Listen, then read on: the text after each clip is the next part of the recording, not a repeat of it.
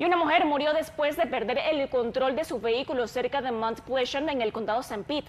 La mujer de 54 años conducía hacia el sur por Mountainville Highway a una alta velocidad según las autoridades cuando no pudo tomar una curva. El vehículo cruzó el carril contrario, se salió de la carretera y chocó contra un muelle de carga. La investigación de este aparatoso accidente continúa.